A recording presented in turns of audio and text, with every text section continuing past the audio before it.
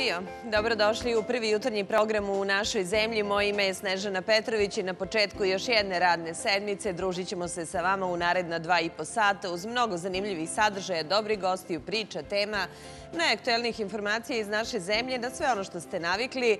A evo šta ćete do pola osam između ostalog moći da saznate.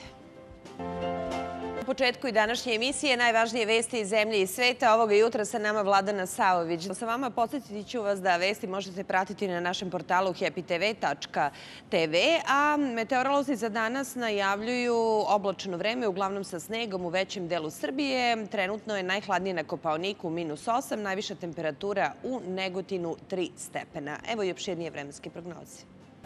Vremensku prognozu, a mi ćemo se potruditi da vas ovog jutra zabavimo, ali informišemo, da dobijete informaciju na aktualnim temama. Jedna od važnih tema za Srbe i za sve nas na koju bi trebalo da obratimo pažnju jeste ćirilično pismo, koje sve manje koristimo. Da li ćirilici preti izumiranje? O tome ćemo razgovarati sa jednim od naših gosti ovog jutra. Saznaćete i kako prevenirati diabetes, s obzirom na to da je jedno od najčešćih oboljenja na ovim prostorima. Čućete vesti sa Kustendorfa, spremat ćemo pileće ražnje ražnjiće sa pančetom, ali pre svega toga da čujemo i najvažnije servisne informacije iz Srbije. Vreme je da prilistamo i jutarnju štampu, o čemu pišu današnji dnevni listovi na naslovnim stranama, zapravo sve one teme koje su obeležile dane za nama.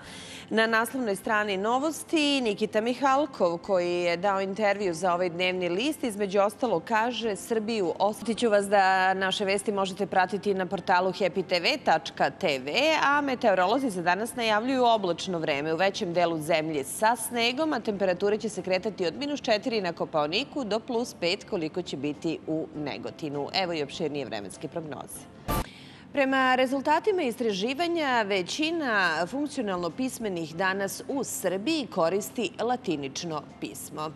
Ćirilično pismo neće izumreti, ali postoji mogućnost da će postati arhaično. Pitali smo sugrađane koliko često pišu ćirilicom, a odmah nakon toga u studio ulazi i gost sa kojim ćemo razgovarati upravo na tu temu.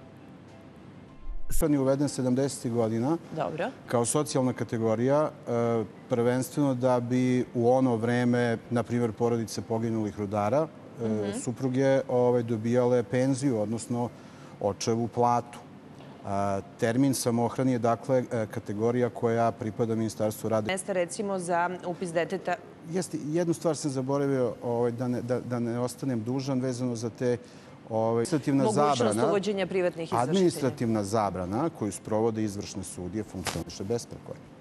Redom da kažu, znači kada je neko zaposlen, alimentaciju ne može da se sakrije. Prosto se zna koliko mu je ličan dohodak, ima prijavljanje kako sve funkcioniše, skida se deo novca koji pripada detetu. A kada ima mnogo veće e, primanja od prikazanih? E, sud. Slovo zakona, to je znamo šta kaže slovo zakona, koliko se ono poštuje u praksi kada je reč o e, upisu, ovo što sam malo čas htela da vas pitam, upisu deteta u vrtiće gde bi trebalo da imate apsolutni prioritet, zatim plaćanje regresirane cene smeštaja, regresiranog prevoza, ishrane u školama, e, umanjenog plaćanja komunalnih usluga. Tu nedostaje ta kategorizacija. Mi ne znamo kome pripadaju, kome novac pripada, mi ne znamo ko ima pravo da ostvari na te... Na, na, na, te...